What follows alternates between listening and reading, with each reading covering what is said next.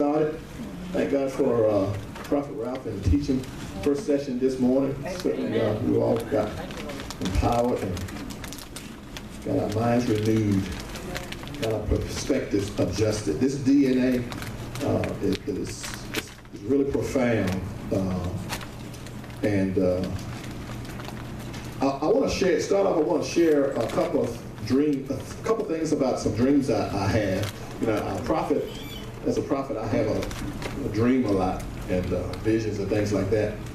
And in years past, I used to have dreams about being in a car, driving, riding. Those dreams speak to transition, of course. And I'll always pay attention. Someone taught me to always pay attention who's driving. And if I didn't see myself driving, if someone, if I saw someone else driving, I understood that someone else is making some decisions that's impacting my life. And so I will always pay attention to who is driving. And so in most cases during that particular season of my life, I would be driving the vehicle. Over the course of uh, uh, some years now, now when I see myself in a car, I'm in the passenger seat and I don't see who's driving. So something has transformed in my life, and it's actually the DNA of God driving. It's the plan of God driving. That's been a process to get someone else out of that seat driving, to me in that seat driving, to me now being in the place where I understand that's a revelation knowledge, understand the key to the point that it's now the plan of God, it's now the purpose of God, it's that DNA that's driving.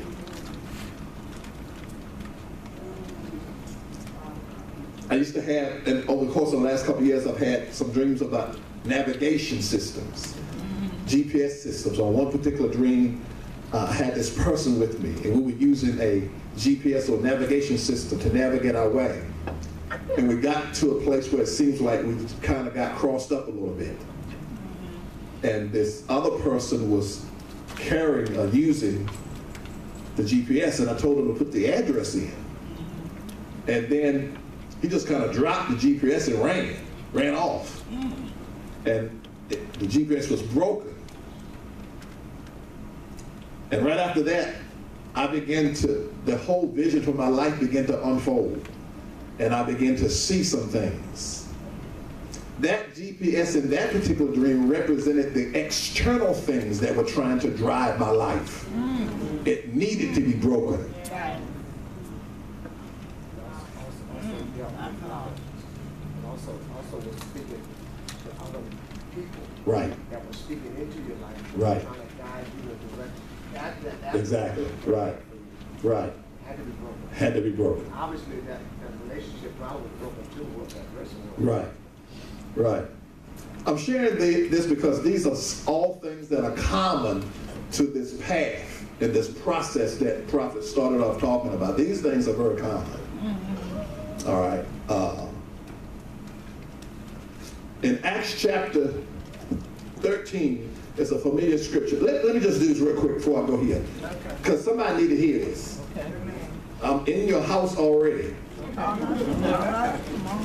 Acts chapter 13, verse 1.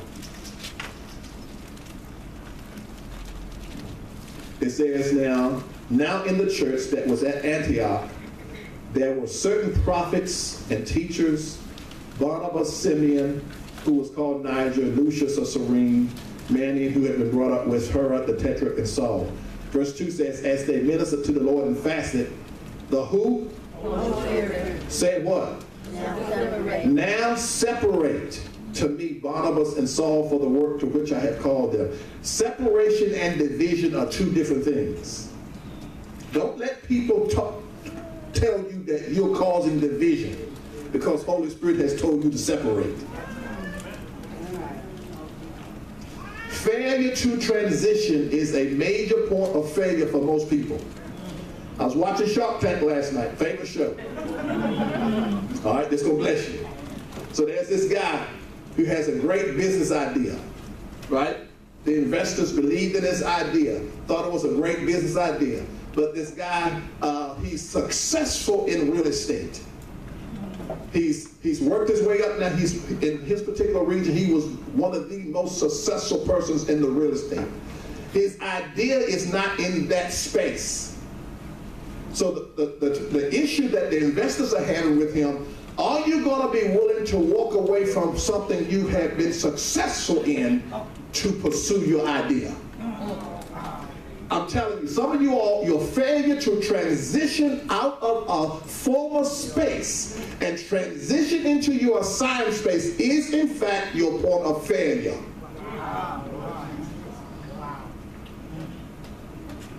Failure to leave when it's time to leave. Failure to when it's time to go. Failure to walk away from a field, from a space from a, from a, from a, uh, a genre that you have achieved some level of success in. People that go from millionaire to billionaire left something in the millionaire space and got to something that had the potential to produce billionaire space.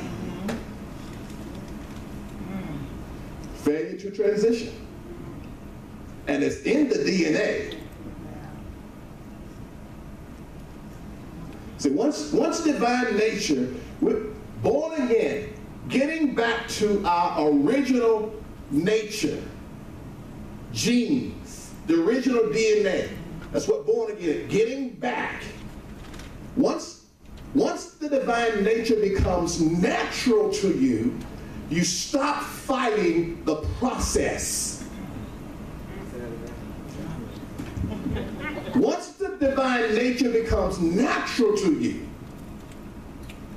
you stop fighting the process that prophet is just talking about that produces the most favorable outcome. But because the divine nature is not natural to you and you are more inclined to walk by what you see, what you hear, what people are saying, you are kicking against the process that wants to produce the most favorable outcome.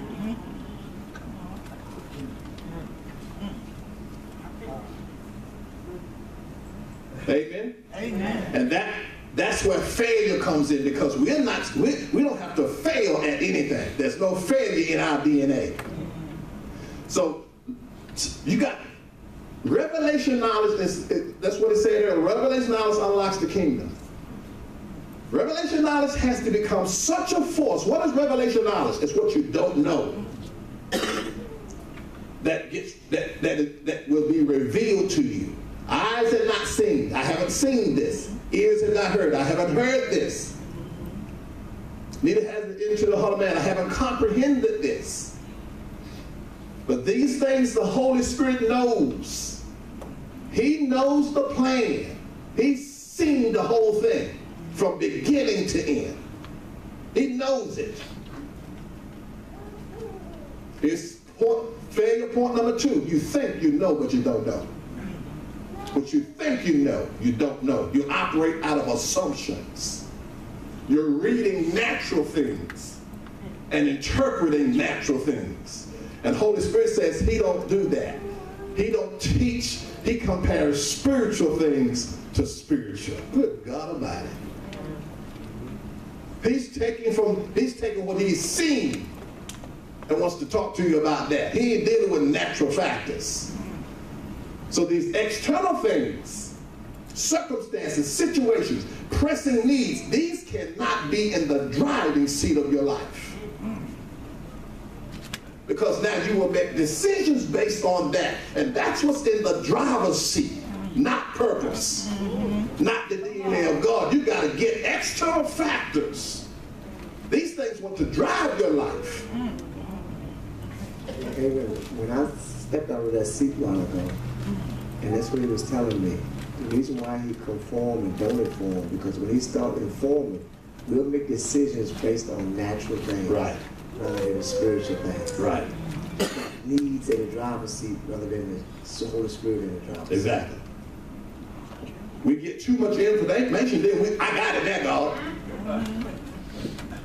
I'm in the driver's seat again. I got this. And the ne- ne- next very thing you decide is never, never by him because you're reading natural things. All right? You got to get, you can't let external factors drive your life. Which means that revelation knowledge has got to become such a force. I've got to be empowered with so much revelation concerning his purpose, his plan, my function, my role, my assignment, that nothing I see moves me. Ah, Only what has been revealed to me by the Spirit. So then I can go into a business understanding this is my space because it has been revealed to me. And they can tell me no, and I don't accept it. Because I understand before I will be denied, everybody in here will get moved. I was just gonna say, before we broke, uh, for the break, when, uh, Prophet was talking about, um, sorry about that. When Prophet was talking about, uh, the birds, they neither, they don't worry about the different things in the GPS, but the whole message, what the revelation he was trying to get them is they were trusting his system. Right. And so you're worrying about how to transition from the heathen or the or the Babylonian system. I need you to understand they don't even have to sow or reap. So don't get over here and think that it's like the birds didn't even have to work. They were flowing in their own system. Right. And he's like, they're trusting the system even without sowing and reaping. Right. And he said, so when you come over into this system, it's a whole new thing that you don't know. See, the birds don't know about sowing and reaping, but they're able to eat, they're able to fly, they're able. Mm-hmm. He said, you need to trust me, just like those birds, where as long as we're in the system, I don't have to worry about any of that. Right. So you got to transition without having to worry. Wow. To understand that this system works better than any other system. Right. So he was trying to get them to compare the system. He said, why are you worrying? It can't add nothing to your life. Amen. You can't add hype to you by worrying. So what he's saying is stop worrying. He said, you're going to stay in worry in that system. When you get over here, just like the birds, they don't worry. Just like the flowers, they don't they don't have to worry about all these different things. So he was trying to get him. he was he was talking him through to get to the other system. Amen. Wow. Amen. Two, it's two systems. You got to look at it that, that way. Two, two diametrically opposed systems. First thing you got to do is rep, is understand and, and, and, and be honest about which system you're operating in. And you got to learn enough about the kingdom to be able to recognize when you're operating in the wrong system. And understand that certain things, behaviors, practices are not part of the kingdom system. The, guy, that- this guy that rides with me to work, we're building a facility for a Lehigh Con- Concrete Company in Chesterfield.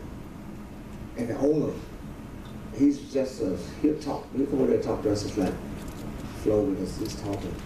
And my cousin asked me, uh, the guy around me asked me, he said, did you hear what he said the other day, when the owner of Lehigh said? I said, no, what did he say? He said, we need to keep, we want our employees in debt because as long as they're in debt, they need to work for us. Wow! Mm. I said, and I've been, just, I've been talking to him about Babylon and the kingdom system, two different systems. I said, I've been trying to tell you how the, how the system operates. I said, but he might have caught himself later on. He slipped up and gave a, a principle that they operate by. He said, we we want the people that work for us in debt because as long as they're in debt, they got to keep working for us. Wow. Wow. These millionaires. Right. That's, is how they became wealthy Right. in that other system. Right. You can't be mad at him. That's the system he operates in. He's making no qualms about it. So if you fall prey to that, that's on you. Yeah. yeah. That's right. I just wanted to add to that, that slave mentality also. In slavery, uh, when, when the, when our people were coming out of slavery, they had a book at the general store. And everything that they bought had to go on the book. And then when they tallied up, at the time when harvest came, they didn't have nothing. So it's slave mentality too. Amen. All right. Okay, let's see how far we can get today. Not that we're gonna rush through this, but we, we're here to learn. So let's start right here. I think we stop right here. It says you're being shaped into his image or plan or overall destiny. All right? Again, you're, we're being conformed, not informed. He is guiding your internal compass and directing your internal navigation. All right? We're being shaped into his image. Now that, that, that, that, that, that's profound right there. Because if you understand this whole blueprint concept, you, you, you, you understand how to operate in the covenant.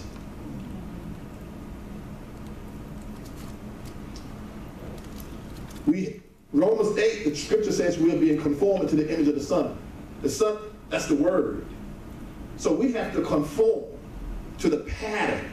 If you can conform to the pattern that you see in the word, you can get that same manifestation. That's the way you apply pressure to the covenant. Okay, so for instance, let me give you an example. In Esther chapter 8, verse 1, I've been stuck on this scripture for a couple weeks. In Esther chapter 8, verse 1, it says, The king gave the house of Haman to Esther. Did she ask for it? No. How did, how did, it was added. That's the way we, we get things in the kingdom. Things are added. Mm-hmm. Jesus never told you to exercise faith for anything. Right. Jesus never, you, you're trying to exercise faith for a house or a car. That's not kingdom. Mm-hmm. That's a teaching that came from people who were eating from both trees. Mm-hmm. Mixed fruit. The house was added. Now, if I can conform to that image, the same thing can happen for me. What happened here? Esther aligned her heart with the heart of the king. She got lined up with the intent, the purpose, the plan, the image of the king. And a house got added. If you can conform to the pattern, manifestation, that's what being conformed is all about.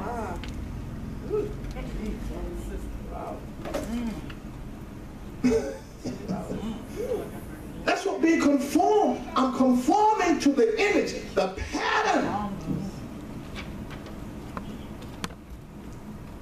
No, you're trying to apply, you're trying to, uh, you're trying to exercise faith for a house. And you're struggling to believe that God gave you a house. And you, you ought to. Nothing supporting that he would just give you a house.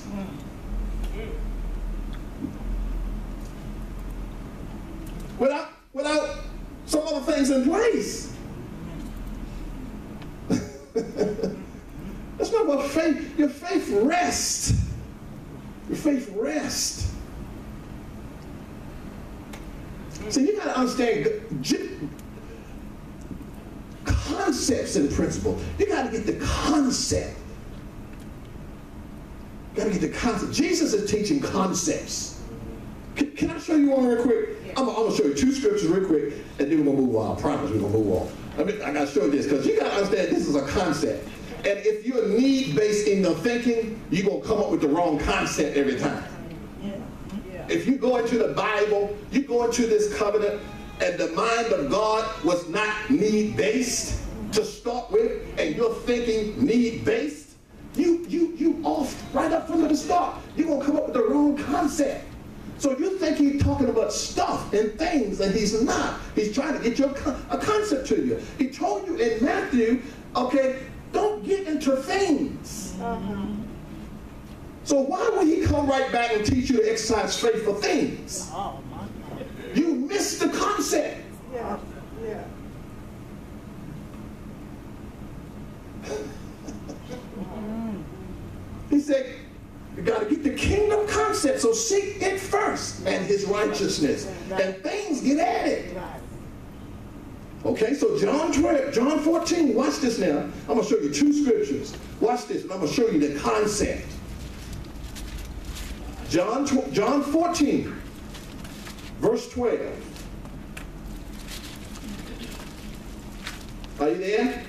He says, Most assuredly, I say to you, he who believes in me, the works that I do, he will do also. And greater works than these he will do because I go to my Father. Now that's the most important thing right there. That shows you his office. His role, his office now is to go to the Father for you. Read on.